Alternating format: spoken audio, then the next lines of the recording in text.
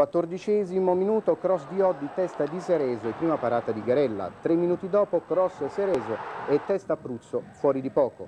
Diciottesimo, Sereso, certamente il migliore della Roma, impegna Garella in una respinta a mani aperte. Al ventiquattresimo si fa vedere il Verona da Galderisi a Brigel, gran sinistro al lato.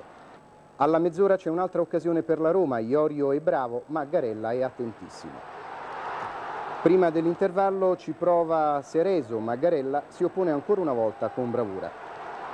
All'inizio della ripresa due occasioni buone per il Verona. La prima è di Fanna, poi Elchier non aggancia. La seconda invece è di Di Gennaro al nono, ma Tancredi rimedia con un piede. E torniamo al formidabile Garella. Qui vola a respingere un colpo di testa di Iorio. Qui invece devia in calcio d'angolo un colpo di testa di Righetti. Alla mezz'ora il suo capolavoro. Prima si oppone alla conclusione di Di Carlo, poi anticipa Iorio. E poi eccolo ancora negare il gol a Falcon. E quindi ancora una volta respingere una incursione di Sereso. Per concludere Roma-Garella 0-0, linea a Valente.